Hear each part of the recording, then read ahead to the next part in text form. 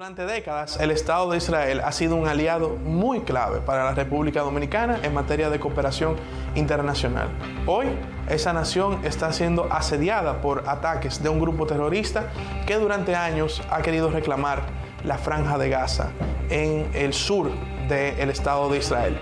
Hoy vamos a conversar con el embajador de Israel en la República Dominicana, Raslan Abu Rukun, quien nos va a explicar el contexto de este conflicto que se ha generado y la posición oficial del Estado de Israel ante la comunidad internacional de cara a este conflicto bélico en la franja de Gaza. De igual manera vamos a conversar con Rolkin Lorenzo Jiménez, abogado, especialista también en temas internacionales, quien nos dará el contexto histórico y jurídico de la situación del conflicto entre el Estado de Israel y la autoridad palestina por la franja de Gaza para que podamos tener algún nivel de información más sobre este conflicto que ocurre entre Israel y hoy día el grupo terrorista Hamas. El Estado de Israel, que es uno de los estados más recientes en la historia del mundo en haber sido conformado, durante años eh, tuvo el control de lo que nosotros conocemos hoy como la franja de Gaza. Comunidades judías, agricultores y miembros de, de la población israelí formaron parte de los ciudadanos que habitaron esa zona durante muchos años, hasta el año 2005, cuando el gobierno de Israel decidió desocupar ese pedazo de tierra para llegar de alguna manera a algún acuerdo de paz con la autoridad palestina que reclamaba también ese pedazo de tierra como parte de, eh, su, de su, conjunto de, de la nación palestina. Ahora bien, luego de eso han ocurrido una serie de conflictos bélicos, como el que está ocurriendo ahora también entre el Estado de Israel y el grupo terrorista Hamas, que como veremos en la entrevista con el embajador de Israel en la República Dominicana, ese grupo no representa a la autoridad palestina. Sin embargo, es un grupo que está siendo apoyado por otras naciones, como lo es el caso de Irán y el caso de Siria, y quizás otras que se deberá ver más adelante.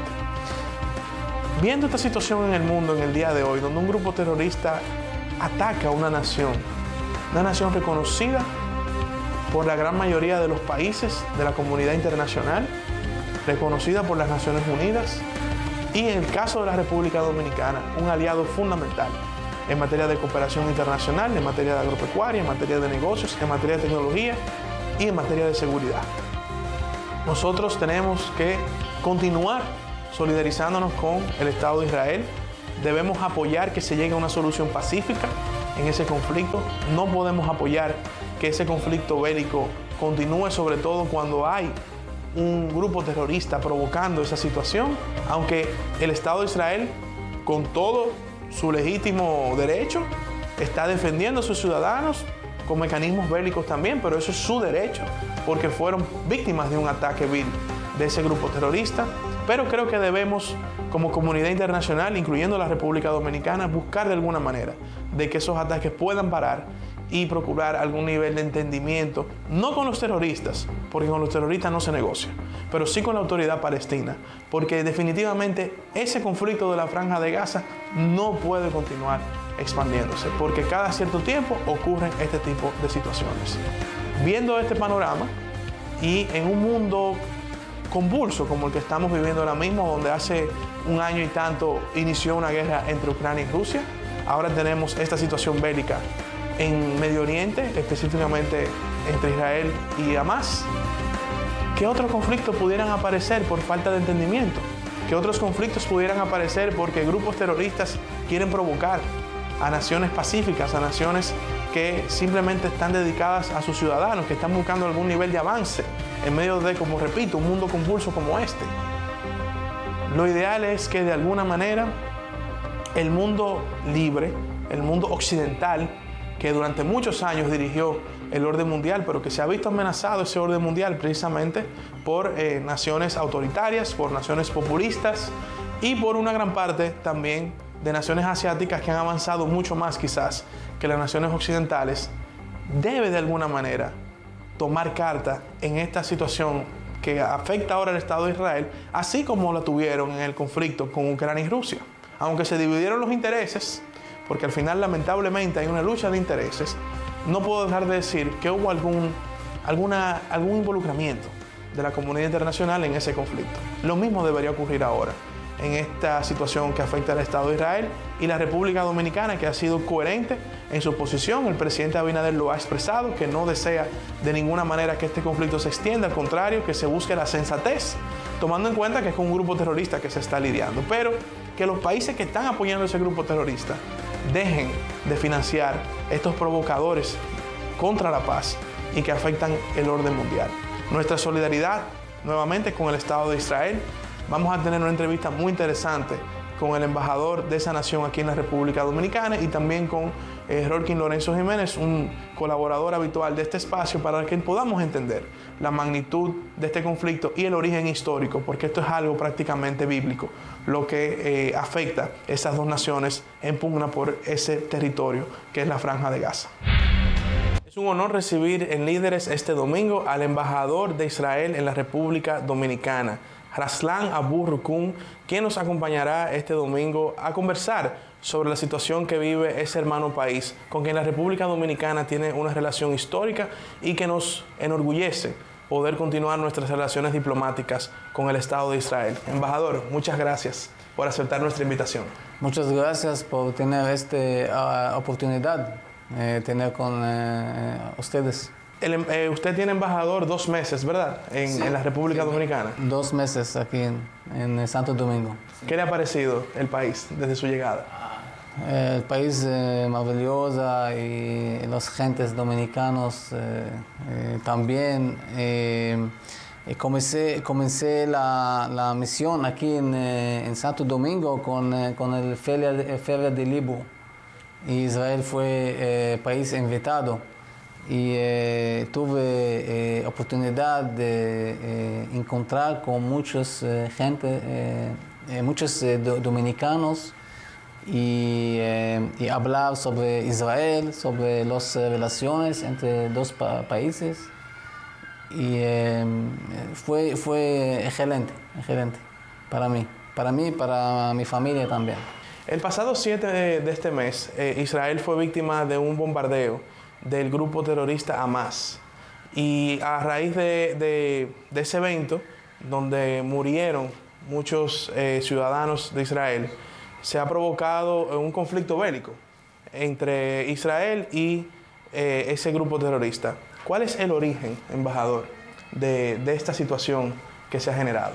Sí, eh, ahora eh, en estos días Israel está en estado de guerra con, con Hamas, contra Hamas. Y estos eventos comenzaron en el último sábado, cuando todos eh, los judíos en Israel celebraron la fiesta de Sukkot. Y el sábado mañana eh, los eh, terroristas comenzaron con miles de misiles y cohetes los pueblos israelíes y también casi de, de un mil terroristas infiltraron entre Israel y comenzaron a atacar eh, familias. Todas las familias, atacar eh, eh, jóvenes, niños, personas adu- adultos y, y, mataron mm, más de, de un mil, mil doscientos israelíes, secuestraron muchos, eh, incluir eh, niños, niños eh, bebés de seis meses, por ejemplo, o tres años, en manera muy, muy brutal, que no, no vimos en pasado. Tal vez en la, época o acciones de ISIS, Al-Qaeda. Desde este momento, las fuerzas de defensa de Israel comenzaron a luchar los eh, terroristas y eh, también, eh, también estamos atacando los centros de Hamas en, en Gaza. Ahora, cuando hablamos sobre el origen de este conflicto, necesitamos saber que hay gran, tenemos el conflicto Israel con los palestinos, que te- tenemos muchos años. Eh, pero esta acción y ataque brutal no tiene nada con el conflicto entre Israel y los palestinos, porque Hamas no representa al pueblo, eh, la nación eh, palestina y los palestinos. Hamas es esta organización terrorista que parte del de, grupo o movimiento de los hermanos musulmanes en Medio Oriente, que tiene ideología muy extremista y eh, para promover, eh, Estado Islámico eh, y la, gobierno y ley de este país que ellos, ellos quieran es la ideología de islámica o sharia y eh, este grupo, grupo, terrorista que muchos años eh, planeaba eh, atacar a Israel, en la ideología de esta organización, ellos quieren destruir el Estado de, Israel. Ahora, este grupo está apoyando por Irán, Irán, grande, gran país en Medio Oriente que apoya eh, eh, eh, muchas organizaciones terroristas en muchos países en Medio Oriente, como Hezbollah en Líbano, como otros grupos en Yemen, en Irak y también Hamas. Y Hamas siempre, siempre trabajan para atacar a israelíes, muchas acciones de, terror contra ciudadanos israelíes. Y este último eh, eh, ataque, eh, nosotros vimos la, brutal y también los valores que no tienen valores, cualquier valores, y atacar y secuestrar los niños y, matar los, todas las familias en Israel. Y este, este es la origen de este, este conflicto. Embajador, al día de hoy, que estamos presentando esta entrevista, ¿ha podido Israel ya controlar los ataques del grupo terrorista Hamas? Eh, sí, las los, eh, fuerzas de defensa de Israel em, eh, están, están luchando en el sur de, Israel. casi controlamos todos los pueblos y áreas en el sur de Israel eh, en, este momento estamos atacados en Gaza. Atacamos en, Gaza y eh, también tenemos tensión en la norte, en otra frontera eh, con, con Hezbollah en, en Líbano y estamos preparados por cualquier escenario que, que tenemos desarrollo de, de, de frontera en el norte también el Estado de Israel ha encontrado eh, la solidaridad de muchos países amigos, como es el caso de la República Dominicana. nuestro presidente Luis Abinader, eh, desde el momento en que comenzaron los bombardeos, emitió un comunicado de solidaridad con Israel, pidiendo que se, pueda pues, eh, resolver esa, esa situación sin más daños a vidas humanas, pero también han encontrado solidaridad de otros países importantes. ¿Quiénes más? han apoyado al Estado de Israel en esta situación tan delicada? Está muy delicada y, muy importante eh, recibir este, este apoyo. En eh, eh, primeros momentos recibimos apoyo de muchos países y todo el mundo libre, como Estados Unidos, como Alemania, como Francia, como Inglaterra.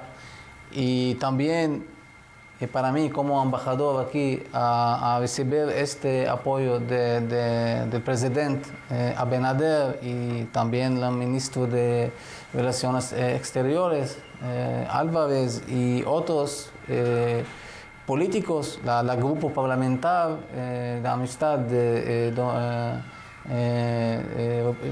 Cámara de Diputados. Cámara de Diputados, con declaración muy fuerte, apoyar al Estado de Israel y condenar los eh, terroristas. Eh, este es muy importante porque ahora eh, este, este apoyo al derecho de Israel a defender los ciudadanos y, y los, y los fronteras de, Israel. Y ahora tenemos en otro lado eh, países como Irán y como eh, Siria, como otros países que apoyan eh, Hamas. Y también nos vimos que, muchas personas y prensa también, en prensa aquí en República Dominicana, pero también en otros países en todo el mundo, hablan sobre eh, apoyar al pueblo y la, nación de Palestina. Ellos eh, hablan las acciones de, Hamas, no, no puedo imaginar cómo a, humanidad y persona puede apoyar eh, las acciones. Cuando ellos hablan sobre apoyar los palestinos, no necesitan, no pueden apoyar las acciones, eh, últimas acciones y, ataques de, de eh, eh, Hamas. ¿Usted cree, embajador, que la comunidad internacional, sobre todo los que han apoyado y se han solidarizado con Israel, están conscientes del rol de un país como Irán en este proceso? Sí, por, por muchos años hablamos sobre la estrategia por, policía que de, de, Irán en el Medio Oriente. No solo sobre la, la programa de eh, arma nuclear uh, weapon. ¿De armas nucleares? Sí, sí, pero también sobre la estrategia que Irán eh, tuve en, en Medio Oriente, apoyar las organizaciones con eh, manera eh, económica, eh, economía y también logística y otras maneras.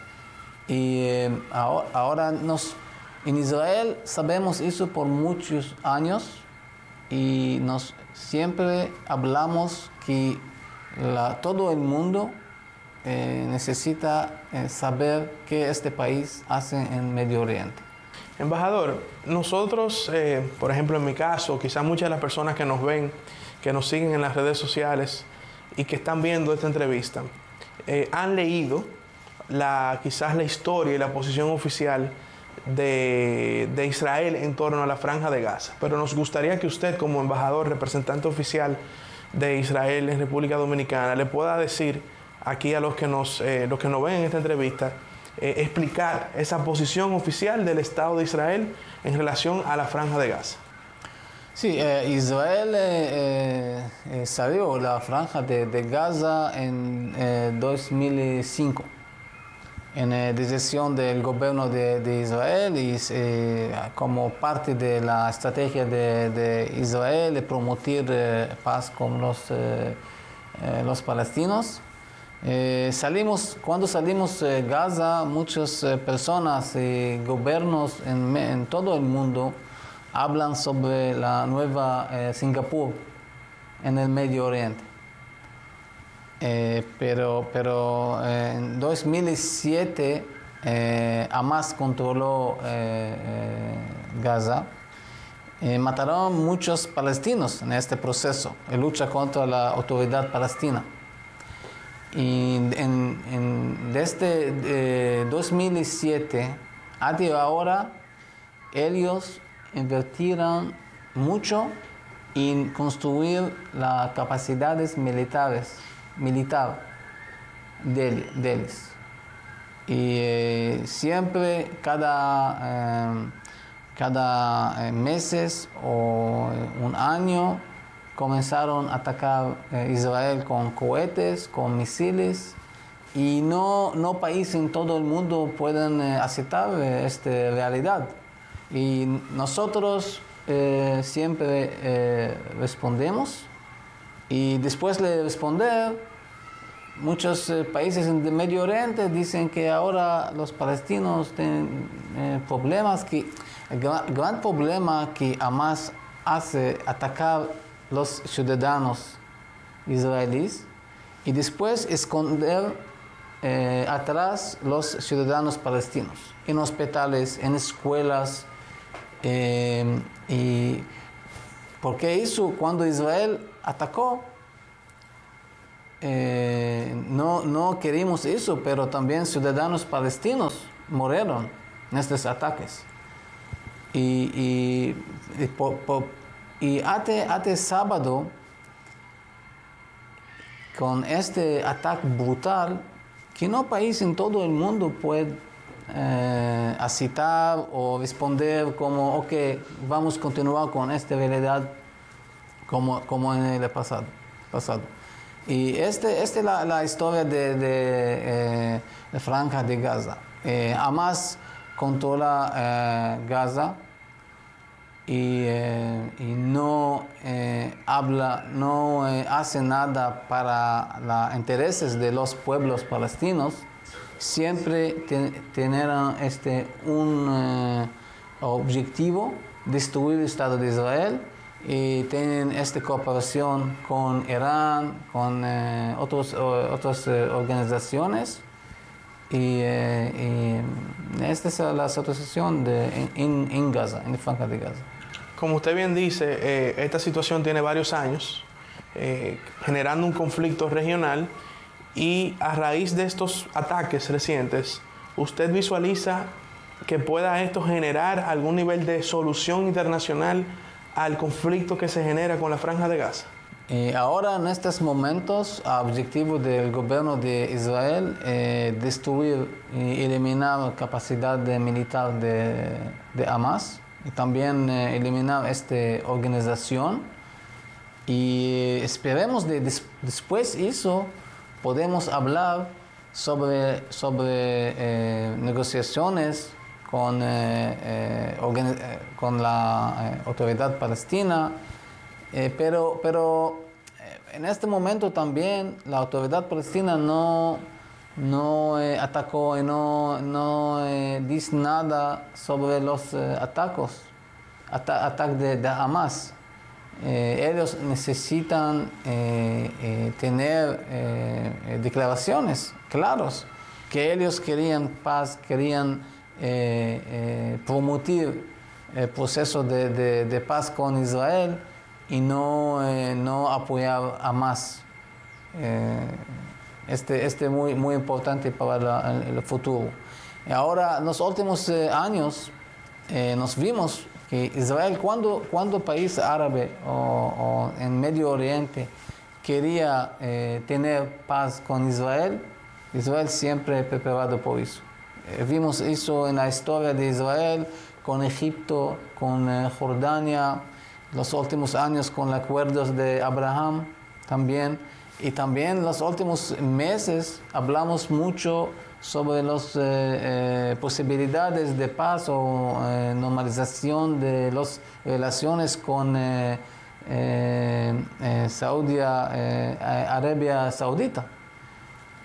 Y eh, yo, yo pienso que, que jamás vi eso y, y este también un eh, objetivo o, razón eh, de este, eh, este ataque. ¿Existe, embajador, algún sentimiento eh, histórico, religioso de esa tradición hebraica en torno a la franja de Gaza? ¿Hay una historia vinculada a la tradición histórico-religiosa del pueblo israelí? Eh, en, Ga- en Franja de Gaza, eh, en, de- en pasado tenemos eh, los eh, judíos que eh, viven ya en, en Gaza. Y eh, tenemos esta conexión eh, de religioso de judío en, en, eh, Gaza. Yo no, no soy judío, soy druso israelí, pero eh, con esta conexión y también tuvimos los pueblos israelíes en Gaza que eh, desenvolvieron las capacidades en, en agricultura y fue por muchos años. Pero en, en 2005 tuvimos esta decisión del gobierno a salir de Gaza porque pensemos que este, este proceso va a ayudar a promover paz con los eh, palestinos. Eh, eh, nos vimos que en este lugar tuvimos esta autoridad de, controlado por organización terrorista.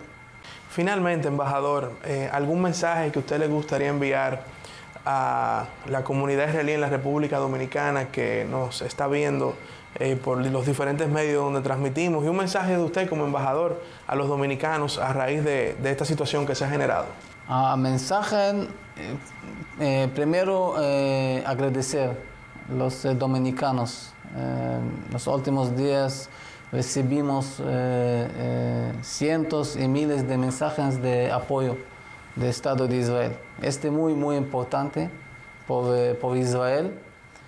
Y eh, eh, también yo quiero decir que estos momentos difíciles por Israel, por los ciudadanos israelíes, pero Israel ganará y además pagará precio muy alto.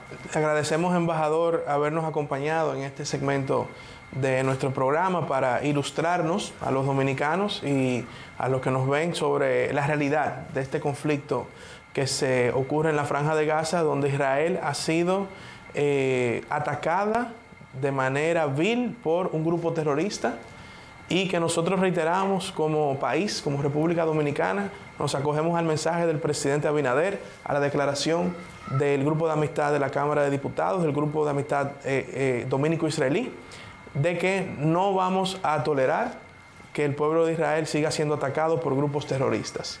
Nos unimos a nuestros hermanos de muchos años, como lo es el, pueblo de Israel, nos solidarizamos y vamos a seguir apoyándolos en que eh, ese Estado tan importante, que luego en otro momento hablaremos de la colaboración entre ambos países, pero ese Estado tan importante para la República Dominicana merece vivir en paz y merece eh, respeto en cuanto a sus creencias, su filosofía de vida y también sus principios políticos. Así que cuente con nosotros, embajador, y muchas gracias por habernos acompañado. Muchas, muchas gracias. Estábamos conversando con el embajador de Israel en la República Dominicana, Raslan Abu Rukun, quien nos ha acompañado y nos ha ilustrado sobre el conflicto que ocurre ahora mismo entre el Estado de Israel y el grupo terrorista Hamas.